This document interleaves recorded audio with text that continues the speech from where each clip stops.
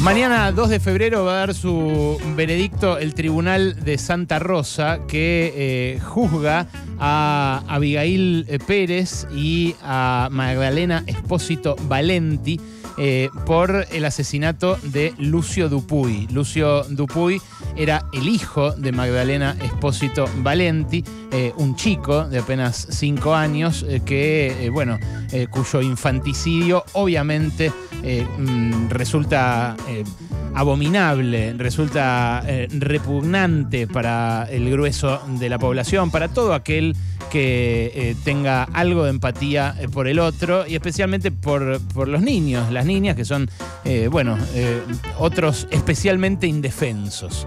La verdad, lo que entregó este juicio fueron más de 100 testimonios, Obviamente eh, un trámite muy crudo, un trámite donde se ventilaron, estuve revisando en estas últimas horas eh, parte de las audiencias, donde se ventilaron eh, algunos hechos aberrantes por parte de las imputadas, hechos que refieren el desamparo total en el cual también se manejaba esta familia, en el cual se tramitó la problemática de una pareja del mismo sexo sexo, eh, una pareja que eh, justamente por esa condición está siendo escrutada y juzgada por millones de personas que no son los jueces, la jueza eh, que le dio la tenencia de Lucio a Magdalena, a su mamá, ni tampoco los jueces del tribunal que están ahora juzgando el infanticidio. esos jueces que aparecieron por todos lados juzgan aspectos morales de la vida de gente a la que no conocen y a la que prejuzgan eh, por lo que consideran que es correcto respecto de la relación entre dos personas, la, relación afectiva entre dos personas, tengan el género que tengan. Ahora, lo que ocurrió a partir del juicio, eh, el juicio por el asesinato de Lucio, que quiero recordar, eh, murió en noviembre de 2021, o sea, hace ya un año y piquito, ahí en Santa Rosa, La Pampa, después de una fuerte golpiza que fue eh, documentada, que está documentada en las audiencias, eh, que está mm, documentado junto con eh, hechos de, violencia, de violencia sexual, incluso que, es, todo, como digo, aberrante y repugnante. Generó un hecho social en torno a él que tiene mucho que ver con la reacción conservadora antifeminista esa reacción conservadora antifeminista que ya veníamos viendo en un montón de aspectos, eh, que veníamos viendo en eh, la reacción, por ejemplo, de la familia de Juan D'Artés contra Telma Fardín y contra quienes ayudaron a Telma Fardín a denunciar eh, su violación, que veíamos en campañas de hostigamiento tremendas en redes sociales contra comunicadoras o contra actrices o contra mujeres que simplemente expresaban sus puntos de vista en público, llegó al paroxismo, eh, en este caso, el caso de Lucio, eh, con eh, una pregunta que le empezaron a hacer a mujeres feministas, una pregunta que a mí me parece completamente absurda, que es, ¿vos qué tenés para decir del caso de Lucio? Le empezaron a preguntar a las feministas porque suponen que tienen que explicar un asesinato por el solo hecho de que lo hayan eh, potencialmente perpetrado dos mujeres eh, que se quieren entre sí, que, tienen una relación eh, entre sí. Claro, ser feminista no es ser eh, lesbiana. Y eso eh, eh, es bastante elemental para cualquiera que, más o menos maneje los conceptos. Ahora, la asociación que se hace entre estos dos colectivos, entre estos, entre estas dos, entre estos dos conceptos en general, es una relación que se hace a propósito para impugnar al feminismo y todas sus luchas y decir que en este caso están apañando asesinas. Eh, el debate del juicio, eh, la verdad que estuvo muy contaminado por esto, porque durante todo el juicio que se tramitó eh, desde noviembre hasta ahora, existió esta campaña y existió esta, esta posición, esto de vos que tanto cubriste el, caso de Fernando Báez Sosa, ¿por qué no cubrís el caso de Lucio Dupuy? ¿no? Le decían, por ejemplo, a periodistas en los medios de comunicación por el solo hecho de que eran mujeres. Bueno, es eh, algo muy nocivo para la democracia y que tiene un, efecto eh, manada en las redes que a mí realmente me preocupa muchísimo. Pasó la semana pasada, a mí no me pareció eh, especialmente digno de mención acá porque era algo que pasaba en las redes sociales. Eh, pero es cierto que lo que pasa en las redes sociales después le termina pasando en la cabeza también a la persona que es objeto de una eh, campaña de este tipo. Eh, pasó que Marina Abiuso, la periodista encargada de temas de género en TN, tuvo que cerrar sus cuentas en redes sociales porque no paraban de hostigarla y no paraban de atacarla por ser simplemente diciéndole no hablas del caso de Lucio Dupuy. Eh, de vuelta, no tiene por qué eh, obligar a nadie a hablar de nada en ningún lado, ni en los medios de comunicación, ni en sus cuentas de redes sociales. Eh, pero segundo, lo que se está juzgando en el caso de Lucio es un homicidio, un infanticidio, por supuesto agravado por el vínculo, agravado por las lesiones, agravado por la, aberración que digo quedó documentada en las audiencias pero que no está eh, agravada por el hecho de que su mamá eh, le gusten las mujeres. Eso que consideran un agravante los machistas no es parte de la discusión eh, judicial. Y yo veía recién un canal, ah, lo voy a decir, lo veía en Crónica TV recién, al abuelo de Lucio reclamando que cuando sean condenadas mañana la mamá y su pareja cumplan condena en distintos penales y ahí yo ya decía, ¿qué es esto? ¿En, dónde se están metiendo eh, la sociedad? ¿Dónde se está metiendo eh, este, este familiar? Eh, en un caso que, repito, tiene que, juzgar la, la, justicia, el Poder Judicial, pero que tiene mucho que ver con la falta de políticas de cuidado que tiene el Estado y cómo abandona el Estado a niños y niñas por igual, sin importar el género, en un país en el cual 6 de cada 10 chicos y chicas son considerados pobres.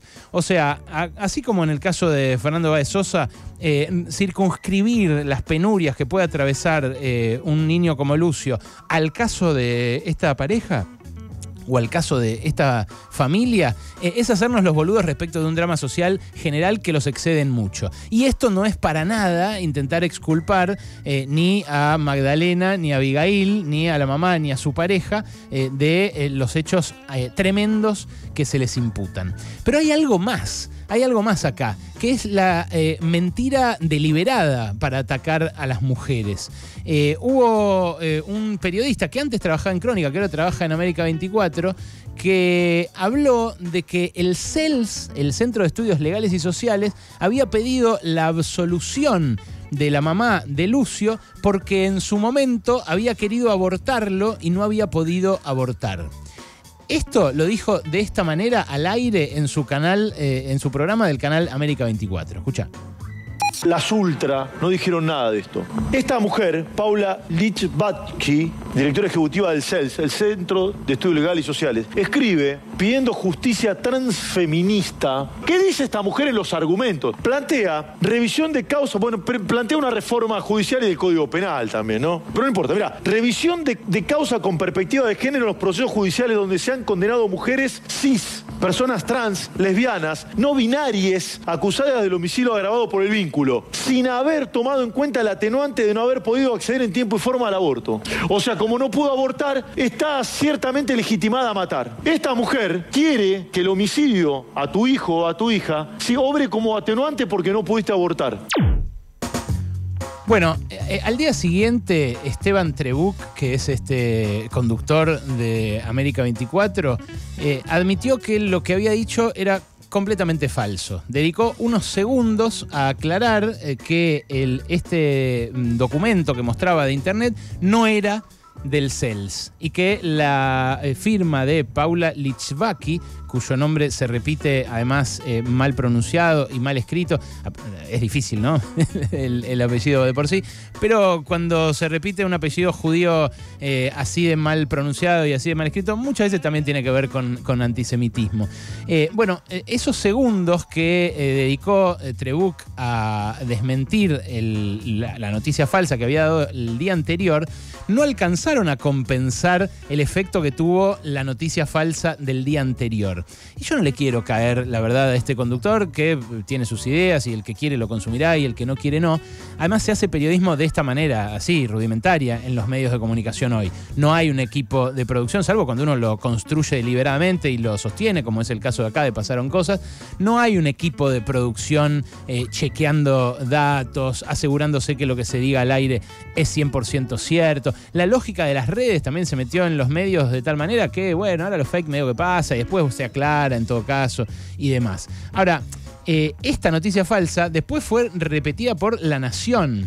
En La Nación, en una editorial, una, nota editorial que muy poca gente lee también, muy poca gente llega hasta ahí, pero que habitualmente saltan eh, a la discusión por este tipo de, de casos, eh, estaba titulada La violencia no tiene género. Eh, y ahí eh, también señalaban que el CELS había pedido la absolución de Magdalena Espósito Valenti. El CELS, que es un organismo de derechos humanos que se ocupa de defender a minorías castigadas, lastimadas, marginadas por el sistema, y que también se dedicó durante mucho tiempo a documentar las aberraciones de la última dictadura militar, no intervino siquiera en el caso. No es que no pidió la absolución de, de, la mamá de Lucio. No participó, no estaba metido en la cuestión.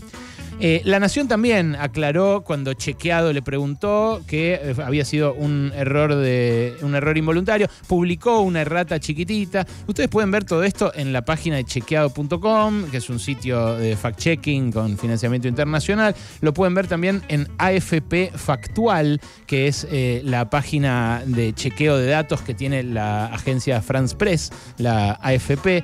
Eh, pero eh, básicamente lo que eh, terminó pasando es que se propagó una violencia contra el CELS, contra Paula Lichbaki, contra, antes contra Marina Biuso, que tuvo que cerrar su cuenta de Twitter por las amenazas de muerte que recibía, de que la iban a ir a buscar a la puerta del canal y la iban a matar y demás forma parte de un accionar muy típico eh, en estos últimos meses de la ultraderecha. Y le pongo signo político porque sí, porque lo hacen ellos. Lo hace la ultraderecha sistemáticamente, con eh, grupos, con eh, trolls, con call centers que contratan y que a veces ponen líneas de otros países para atacar y hostigar a, periodistas que representan un punto de vista que no les gusta. El caso de Luciana Pecker, por ejemplo, nuestra columnista de género, están atacada eh, no solo por este tema, sino también por en su momento eh, el caso de Juan D'Artés. Eh, en, un caso que está investigando a nivel internacional, que están investigando varios organismos de defensa de la libertad de expresión, porque justamente se coarta esto, la libertad de expresión. Bueno, es algo que me parece que mm, debería preocuparnos más que qué relaciones sexuales tienen dos imputadas en un infanticidio horroroso. En todo caso, si se las haya culpables después de este proceso, en donde digo, son las únicas imputadas y tienen todos los boletos como para ser condenadas, si se las haya culpables, tiene que caer sobre ellas eh, la pena que fija la ley. La pena que fija la ley que efectivamente considera que eh, está triplemente calificado el homicidio en caso de que haya eh, sido mm, perpetrado por, por, una madre.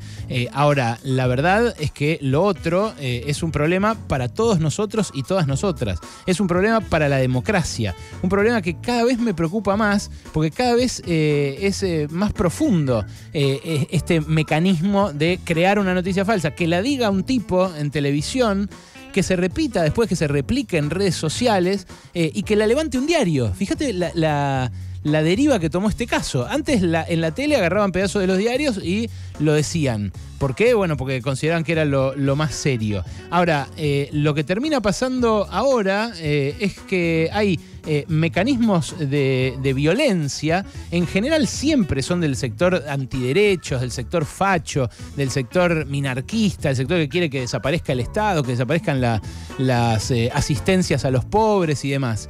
Y ellos son los que terminan imponiendo el tono de una conversación que me parece tendría que ser mucho más sosegada.